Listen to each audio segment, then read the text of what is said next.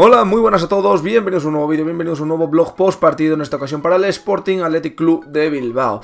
0-2 que nos ganaron los vascos, eh, un partido en el cual pues no tuvimos eh, ninguna acción, no tuvimos eh, nada que hacer, ¿de acuerdo? El primer tiro a puerta fue en el tiempo de descuento, cuento como ocasión una de, una de Sanabria que se fue solo y tiro cruzada, y si me pongo a pensar en alguna más creo que no se me ocurre. El Athletic sí que es verdad que te marcó un gol de falta en la cual el Pichu sí queda un poco flojo, la verdad que mm, podía haber hecho más, Beñat que les pega muy bien, evidentemente para ningún portero y cómodo enfrentarse a un especialista de balón parado que puede colocártela por el tu palo o por el palo largo, en esta ocasión optó por meterla por el su palo, el Pichu sí que se debió de pensar que iba a colocarla por encima de la barrera y al final, bueno, tocó la y tal, pero mano, mano blanda y el balón adentro, ¿no?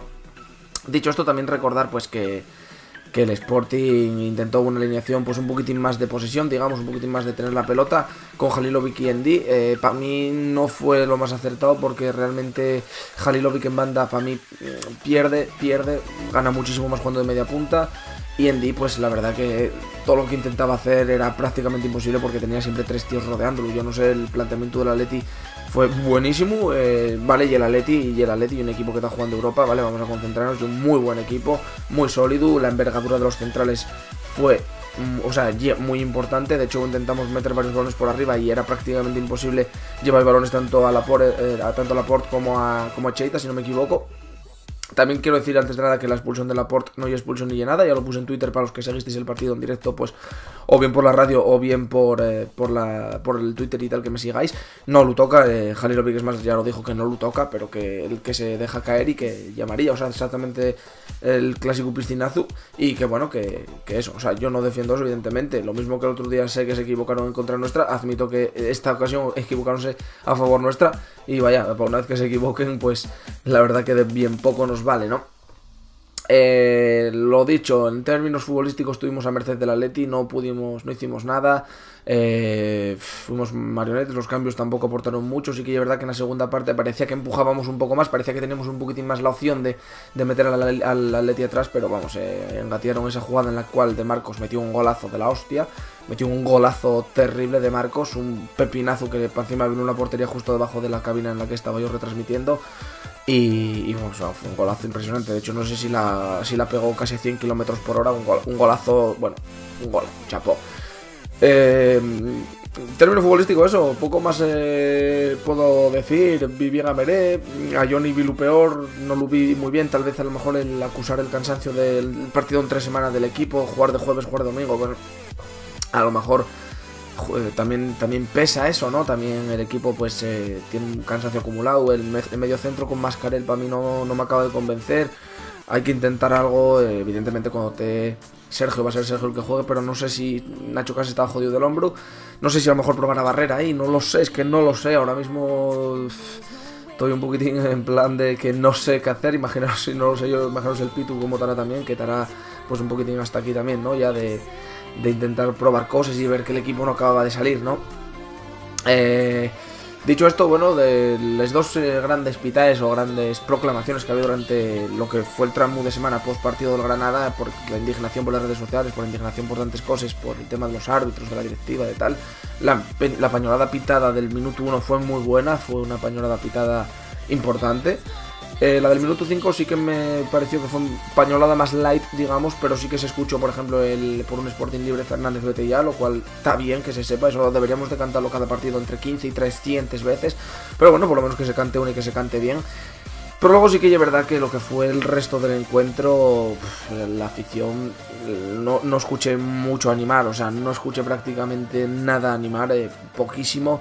Sigue bien, es verdad que yo tengo enfrente de la mi camina al fondo norte donde estaban los, eh, los 2000 o 2000 y pico del Atleti, que se los escuchaba muchísimo, o sea, no pararon de animar en todo el partido, no pararon de gritar, no pararon de pues de, de, liar allí, ¿no? De, animar a su equipo. Y a lo mejor eso pues eh, también dio un punto a favor, ¿no? Siempre se dice que el equipo que juega en casa juega con 12 por el tema afición. Y hoy yo para mí la afición del Sporting tuvo muda, ¿no? Tuvo muda sobre todo sabiendo de que el equipo necesita de, de ese empuje, de que el equipo necesita de que la afición te encima con ellos, de que el equipo necesita que, que metamos presión a los rivales para ellos poder también intentar meter más presión desde dentro del campo, ¿no? Si el equipo que, te viene a visitar al Molinón no se sienta a gusto porque tiene la presión del público ahí achuchando, pues eh, digo yo que será mejor que si tan tranquilamente como si tuviesen un entrenamiento, ¿no? Evidentemente, luego los que están dentro del campo tienen que hacer lo suyo, ¿no? Tienen que darlo todo, tienen que hacer todo lo posible, y Abelardo, y Iñaki Tejada, y todos por sacar el mejor equipo, por defender lo mejor que puedas dentro del campo, ¿no? Pero si jugamos en el Molinón y estamos mudos o marchamos cuando falta media hora para que acabe el partido, pues eh, yo que queréis que os diga, hermanos, eh, eso no lle, no lle mareona ni, ni mis cojones en bicicleta, ¿no? Entonces, bueno, muchos por el Twitter me lo echasteis en cara de que lo dije en la radio, de que, de que metal. Yo simplemente lo ratifico. Yo no soy una persona que se considere eh, de los que suele ir al campo a atar tranquilamente, ¿no? Sí que puedo eh, a lo mejor tener altos y bajos, meternos un gol, pues es verdad que evidentemente cuando te meten un gol vienes abajo, joder, y normal, a todo el mundo y pasa, pero tienes que intentar salir arriba, tienes que intentar animar el equipo, porque si no, en el momento en que te metan un gol, que apagamos el partido y marchamos, o en el momento en que te metan dos, y más cuando nos estamos jugando la puta vida, ¿no? Estamos jugándonos la permanencia, hermano, estamos jugándonoslo todo, venimos de que nos pinten la puta cara en Granada, y, no noté si enfado en la grada, no noté nada, no noté esos ganes de, decir, cago en la puta, que somos el Sporting, que vamos a estar aquí dando guerra, ¿no? No, no, no lo noté, no lo noté. A lo mejor sí que es verdad que los que estáis hacia el sur, o en esta ocasión la grada más hacia el sur, sí que lo notará por los Ultra Boys y tal, pero yo, estando en la grada oeste, en la cabina 12, yo no noto nada de eso. Y es más, miro hacia abajo y cuando no entendí para nada, que cuando se retirara Duriz eh, la gente lo aplaudiera. Yo no, no sé que ya Duriz, eh, Iniesta que nos dio un mundial o algo, no lo entiendo, no entiendo que sea Duriz, Duriz jugó en el Sporting o hizo algo en el Sporting o, o o, no sé, o Diego Castro o algo.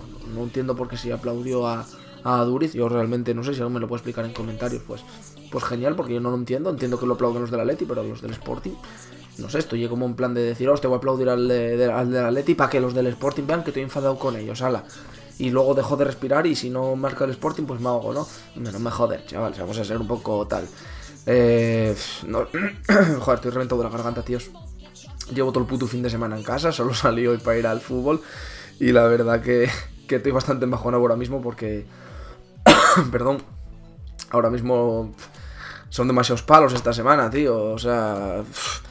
Fueron palos todos fueron cañonazos del español del 2-4 a ir allí y perder en Granada 2-0 y ahora que te pinten la cara 0-2 eh, y una semana jodida y una semana difícil para mí, para todos los aficionados del Sporting, para los jugadores, para el cuerpo técnico y para los que seguramente yo os la pele más este tema será la casina de cristal, chicos. Yo eso tengo lo más claro que Clarín, 23 años ya, lleven ahí al calorín 23, 24, 22, no os lo sé decir exactamente, pero viene ahí al calorín de puta madre, mientras tanto nosotros discutimos, yo puedo discutir con vosotros sobre si la afición animó, si no animó, si jugó mejor Lora, si jugó mejor...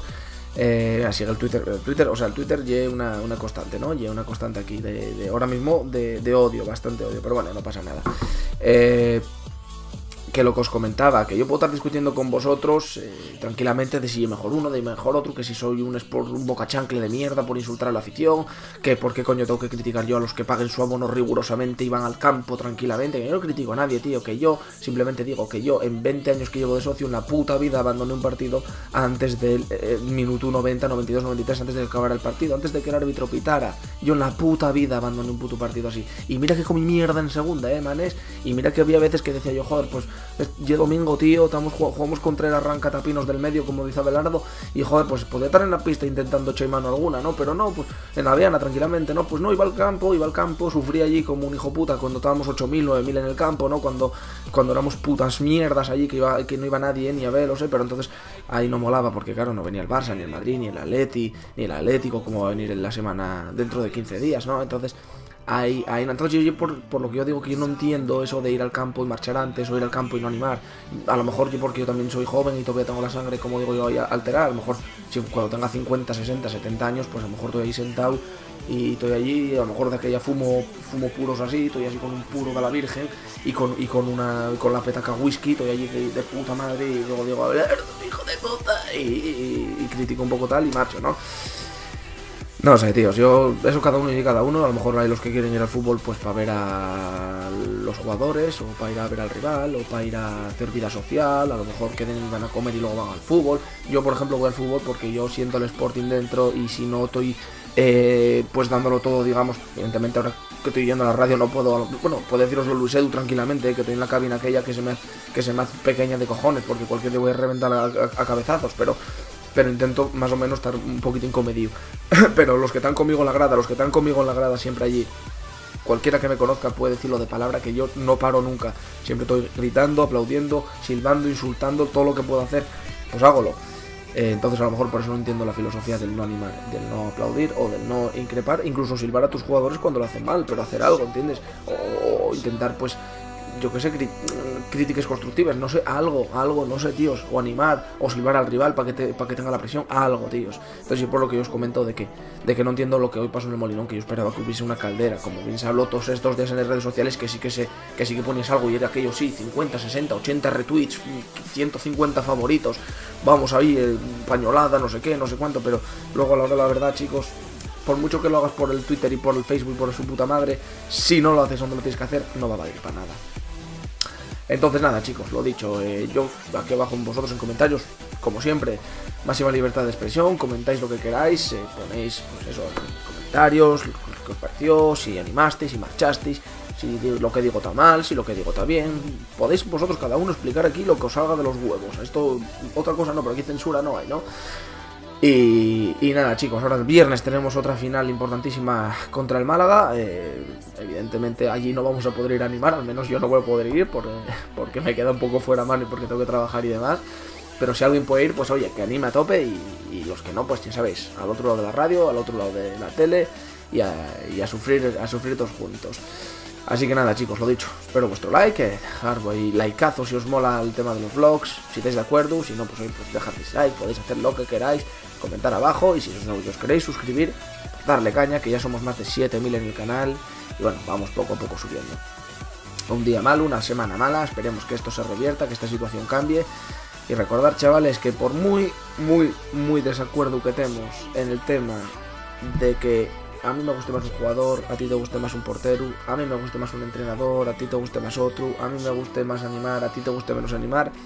Lo que tenemos que tener claro es dar toda la afición del Sporting unía y en que el cáncer del Sporting y Fernández.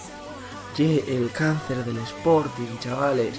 Mientras la familia Fernández siga ahí, vamos a estar jodidos. Estaremos subiendo, mantendrémonos, bajaremos, subiremos, bajaremos, mantendrémonos. Pero va a ser siempre la misma puta historia, va a ser siempre la misma mierda.